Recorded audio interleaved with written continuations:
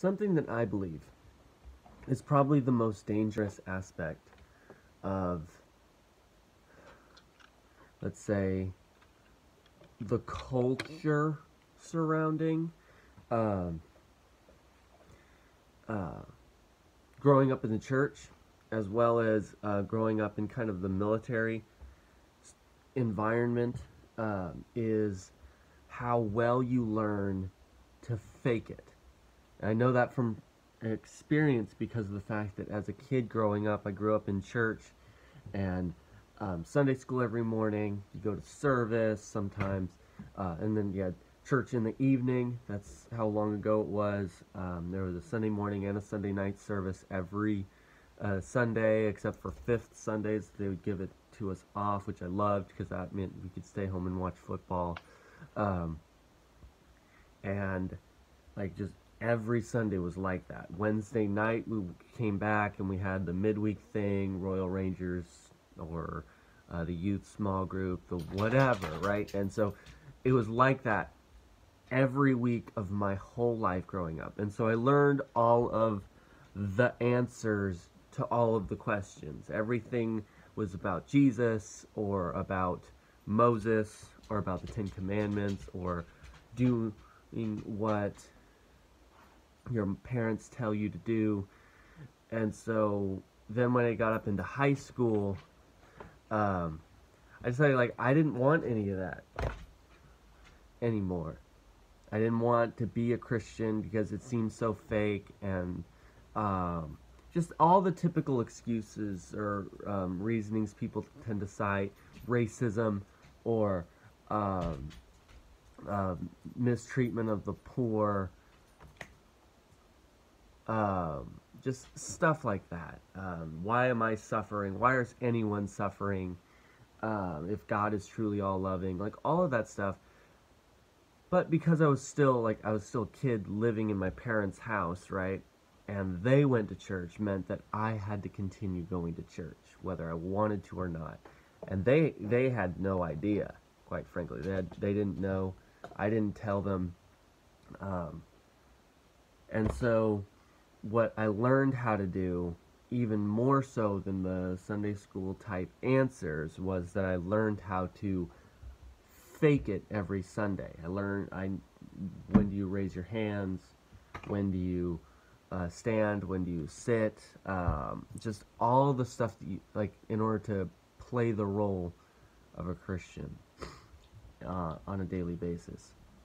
And I think in a military aspect, because I have a wife and a brother now that are both in the in the life military, um, you're expected to put on a face like that a lot of the time. That even though um, you're expected to respect the flag, you're expected to stand for the national anthem, you're expected to kind of try to sniff back the tears when your parents are going on deployment or when they're coming back and it's routine and just like that um, it makes it difficult to be authentic with how you feel. It's one of the things that's kind of created a little bit of that stigma behind um, the PTSD and um,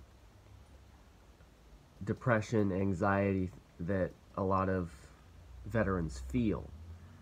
And so what am I what am I getting at? I think the main thing that if you have a veteran in your life, whether that's even you yourself or if that's your spouse, one of your children, one of your parents, if you have a veteran in your life and you're thinking about a gift that you would like to give them today to honor Veterans Day, I think the biggest, the most important gift that you can give them is the permission to be authentic with how they feel. That they just to let them express their emotions in a real way without the fear of you recoiling away from them, without the fear of.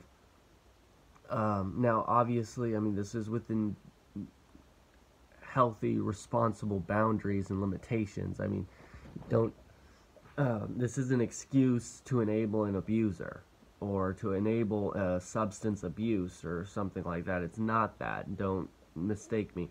But I think just as a listening ear and a confident, trusting hand on the shoulder, just um, because you like it's not that hard to tell when you're talking to someone and when they're listening versus they're either just looking for a reply or they're just kind of being the polite thing it's very easy to tell the difference i think we put up uh, a lot with people that treat or at least veterans or in my context what we're talking about um, put up with a lot of people where they feign that interest in what you're saying, even though they really just don't care.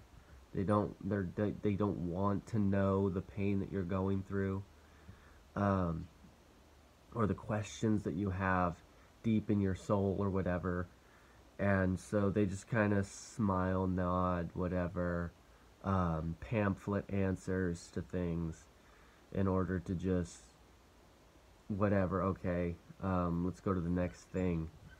Uh, and I think that does more disservice than anything. If you don't want to hear it, you don't want to listen, you don't want to be a part of that, just say that so that neither one of us has to fake it like that you do anymore.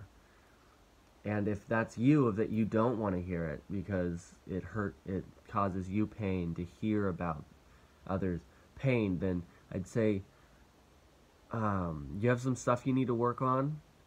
Um, especially like if that's somebody that you love and you care about, like there's something that you need to work on there so that you can cross that bridge because they need you.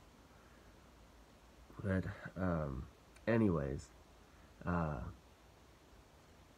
nevertheless, um, what I'm getting at is just for all the veterans out there, uh, happy Veterans Day, and uh, always keep fighting.